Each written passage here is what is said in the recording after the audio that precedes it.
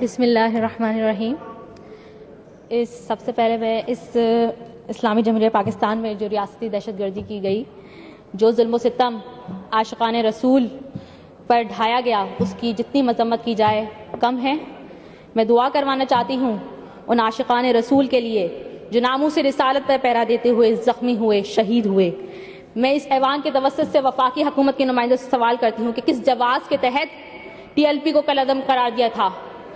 मौजूदा वज़ीर आज़म वज़ीर दाखिला उनके मुल्क सालमियत के खिलाफ बयान ऑन रिकॉर्ड मौजूद है। तो किस लिए उन्होंने हमारे साथ हमारे किसी रहनुमा का बयान मैं चैलेंज करती हूँ स्पीकर साहब हमारे किसी रहनुमा का मुल्क सालमियत के खिलाफ बयान रिकॉर्ड पर मौजूद नहीं है।